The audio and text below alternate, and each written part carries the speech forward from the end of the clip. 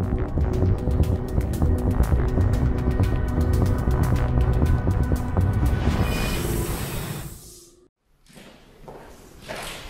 afternoon, everyone. It's uh, a great pleasure to welcome the uh, Foreign Minister here to the State Department, uh, to Washington. It's very much looking forward to this conversation. I have to start, though, on a very difficult note, which is to share again our condolences for the 10 Nepali, Nepali students who were murdered by Hamas in Israel.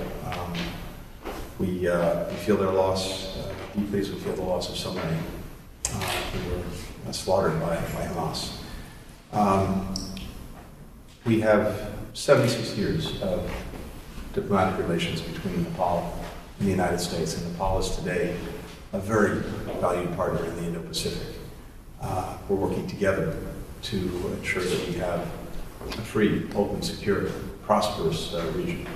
Uh, and in so many ways, uh, Nepal is leading, uh, not just in the region, uh, but globally as a very constructive actor in international organizations, of course, with so many peacekeepers who are trying to help people move from conflict to peace around the world. And in our own bilateral relationship, uh, we're working to deepen it and strengthen it even more, particularly with more people-to-people ties, uh, and as well uh, economic ties, uh, investment. Uh, so we have a lot to, to talk about today, and I'm just delighted to have you here. Good afternoon, everybody.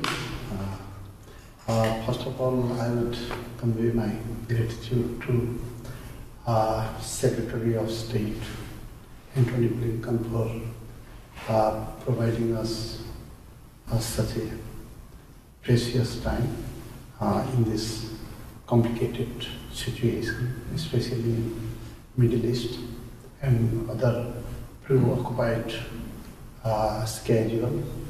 Uh, Nepal and United States has very long and close relations.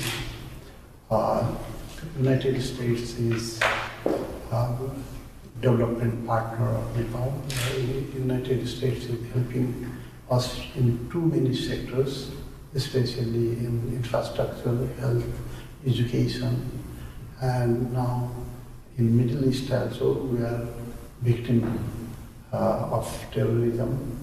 Uh, we, uh, I would like to uh, thank Mr. Secretary for uh, giving us condolence. Uh, we have lo- lost uh, 10 uh, students there and one is kidnapped.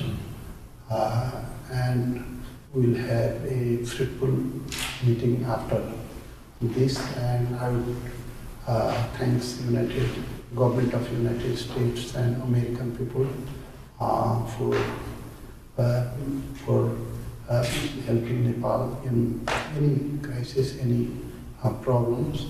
Thank you. Mr. Secretary, any progress on the hostage negotiations?